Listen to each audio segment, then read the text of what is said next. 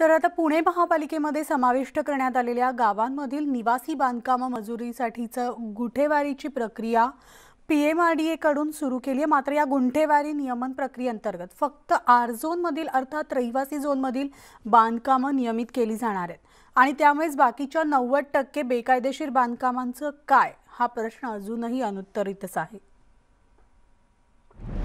गुंठेवारी नियमित प्रक्रियेला सुरुवात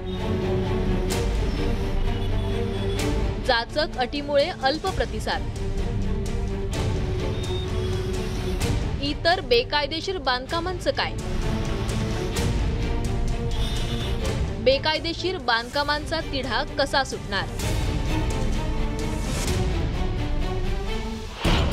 पुणे मनपा हद्दीत तेवीस गावं समाविष्ट होतानाच सरकारनं एकतीस डिसेंबर दोन हजार वीस पर्यंतच्या गुंठेवारीलाही नियमित करण्याचा मोठा निर्णय घेतला होता.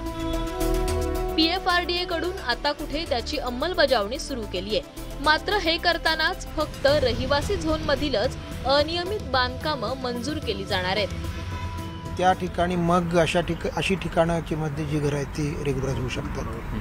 ज्याच्यामध्ये आर पीमध्ये म्हणजे रिजनल प्लॅनमध्ये जो ठिकाणी रेसिडेन्शियल झोन आहे त्या ठिकाणी जर त्या ठिकाणी प्लॉटिंग किंवा त्या ठिकाणी जर बांधकामं झाले असतील तर अशा प्रकारची बांधकाम आपण नियमित करतो आहोत. गुंठेवारी नियमनाची प्रक्रिया सुरू केली असली तरी त्याला फारसा प्रतिसाद मिळत नाहीये. कारण एकतर दंडाची रक्कम खूप जास्त आहे आणि फक्त रहिवासी झोनमधील बांधकामं मंजूर केली जाणार आहेत. यावरून तेवीस गावांमध्ये मोठी नाराजी आहे. ज्या जागेमध्ये गुंठेवारी होणार आहे त्या जागा सगळ्या रहिवासी झोनमधल्या आहेत. आणि नव्वद ते पंच्याण्णव टक्के बांधकामं ही शेती व शेती न्याय विकासमधली हिल मधली आहेत. मग नेमकी गुंठेवारी कशा करता आहे? जर यावर्षी झोनमधली जागांची गुंठेवारी होणार असेल तर ती बऱ्यापैकी लिगलीच कामं सगळी होत असतात. ज्या ठिकाणी इलिगल बांधकामं आहे समजा शेती न्याय तर त्या ठिकाणची बांधकामं गुंठेवारी होणार नाही हा पहिला मुद्दा. त्यामुळे ती झाली पाहिजे सरसकट. दंडाच्या रकमा ह्या कमी करता येऊ शकतात. जसं आपण मालमत्ता करामध्ये पाहतो की आदनमधनं योजना निघतात की ऐंशी टक्के नव्वद टक्के दंडामध्ये सूट देऊन तुम्हाला ते करता येतं. त्याप्रमाणे आता ती खरी गरज आहे कारण लोकांची आर्थिक परिस्थिती खूप हालाकीची आहे. या गावांमधली नव्वद टक्के बांधकामं ही रहिवासी झोन वगळून झालेली आहेत. त्यामुळे शासनाने पूर्वीप्रमाणेच सरसकट गुंटेवारी नियमित करावी अशी मागणी गावकरी करतायत.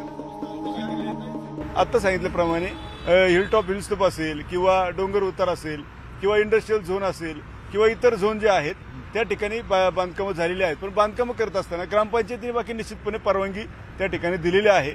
माझी निश्चितपणे विनंती अशी राहील की सर्व बांधकामं सरसकट पूर्वी जशी पूर्वी ज्याप्रमाणे केली होती त्याप्रमाणे गुंठेवारी करावी. शेतीना विकास असेल शेती विकास असेल यातली सगळीच बांधकामं नियमित करायला पाहिजेत.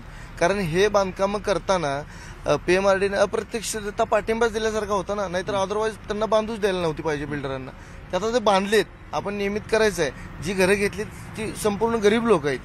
त्या गरीब लोकांना सपोज पाचशे स्क्वेअर फुटाच्या लोकांना तीन साडेतीन लाख रुपये दंड भरून ते नियमित करणं मुळेच शक्य नाहीये. ती दंडाची रक्कम कमी झाली पाहिजे.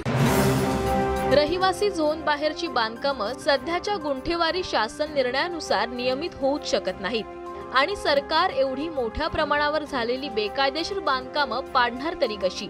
तसं झाल्यास गावकरी त्याला कडाडून विरोध करणार हे उघड आहे. सरकारने निर्णय घेतला गुंठेवारी नियमित करण्याचा. पण त्याच्यात अनेक अडचणी आहेत. विशेषतः दंडाची रक्कम खूप मोठी आहे आणि फक्त आर झोनमधलीच गुंठेवारी नियमित होणार आहे. बाकीच्यांचं काय? असे अनेक प्रश्न असल्यामुळं त्याला रिस्पॉन्स मिळत नाही. हेच ग्राउंड लेवलचं वास्तव आहे. व्हिडिओ जर्नलिस्ट सचिन हंचाटेसह चंद्रान फुंदे न्यूज